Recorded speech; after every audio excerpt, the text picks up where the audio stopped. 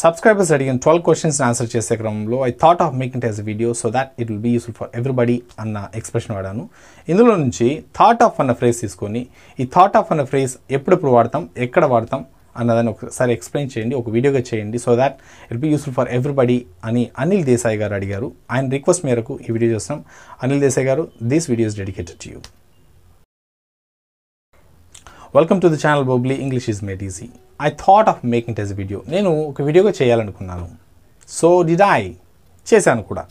I thought of making this video but I was unable to నేను ఒక వీడియోగా చేయాలనుకున్నాను కానీ చేయలేకపోయాను. చూడండి రెండు సందర్భాలను నేను అనుకున్నాను అని చెప్పాల్సినప్పుడు అంటే గతంలో ఒక ప్లాన్ ఉండింది గతంలో నాకు ఒక ఎయిమ్ ఉండింది గతంలో ఒక ఒక విషయం చేయాలనుకున్నాను అని చెప్పాల్సినప్పుడు థాట్ ఆఫ్ అని చెప్పొచ్చు.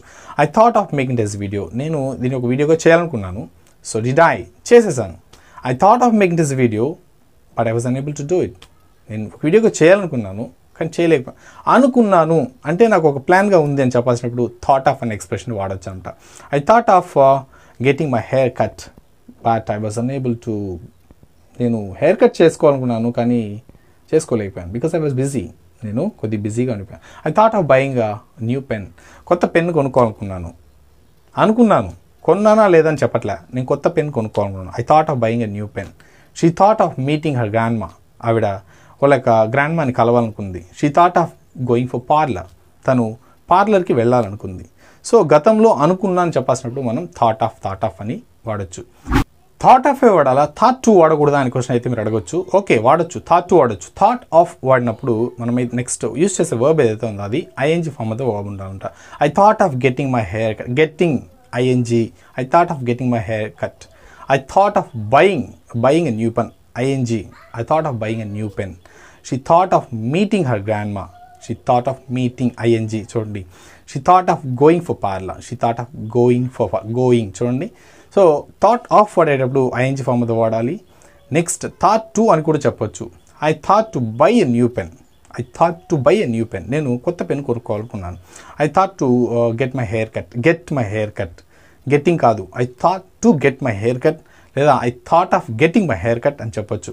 I thought to buy a new pen she thought to meet her grandma she thought to go for parlour so thought to వాడినప్పుడు I N G form of the verb వాడకూడదు base form of the verb వాడాలి first form of the verb వాడాలి get buy come go ఇలా వాడాలి.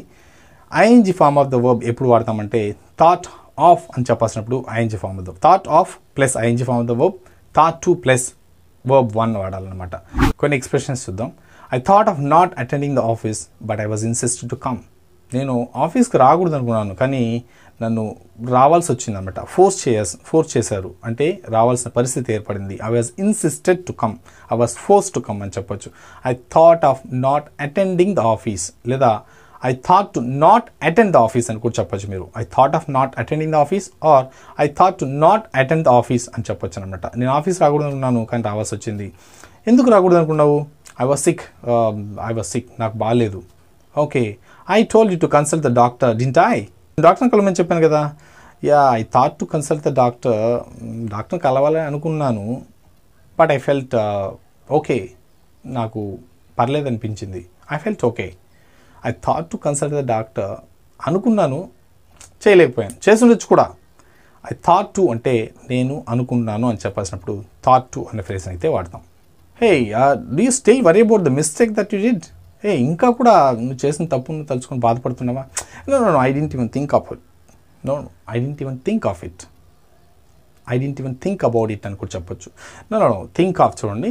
Think of thought of అంటే జరిగిపోయిన విషయం జరుగుతున్న విషయం అని చెప్పాల్సినప్పుడు థింక్ ఆఫ్ అని చెప్పొచ్చు. Do you still worry about the mistake that you did in the past రే నువ్వు గతంలో చేసిన తప్పును తలుచుకొని బాధపడుతున్నావు? No no no I a నేను దాని గురించి అసలు తలుచుకునే లేదురా I didn't even think of it అసలు నేను దాని గురించి ఆలోచించిన లేదురా. I didn't even think of it అని చెప్పొచ్చు. Hope thought of think of అన్న ఈ ఫ్రేజ్ ఎప్పుడు వాడతామన్నది మీకు క్లియర్ అర్థమవుతుంది అనుకుంటా సో నేను ఆలోచించలేదు I didn't even think of ఒక విషయం అనుకున్నాను ఐ థాట్ ఆఫ్ లేదా I thought to thought of అన్నప్పుడు ఐఎన్జి రా రావాలి.